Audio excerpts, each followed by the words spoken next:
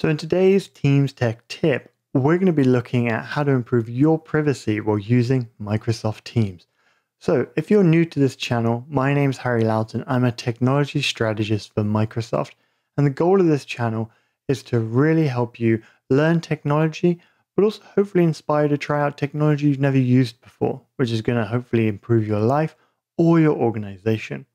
So, this tech tip is based on a feature that's rolled out for turning off message previews. And this was pretty highly recommended or requested.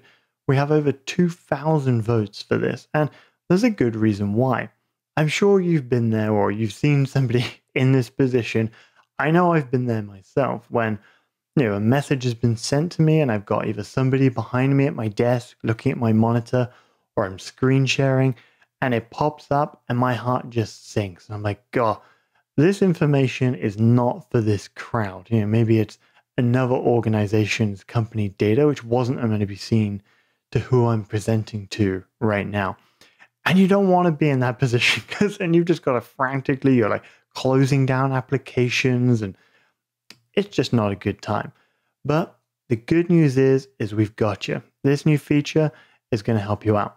So you need to be on a Windows 10 machine. Right now, this doesn't work for Mac. Uh, hopefully, it'll be there in the future.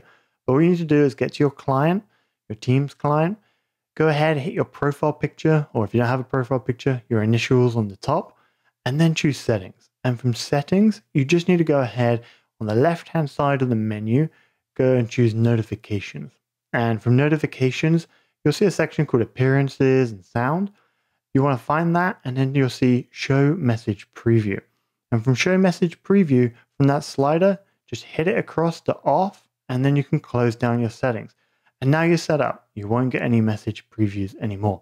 So if Megan sends me a message now, you know, the good news is I'm still going to see the notification. So I'm still going to get what we call a toast notification saying Megan sent me a message, but that preview is not going to be there. So Make sure you have a look at your privacy settings, set it up to what makes sense for you. And if you're doing a lot of screen sharing or a lot of uh, people looking at your monitor, this might make sense for you.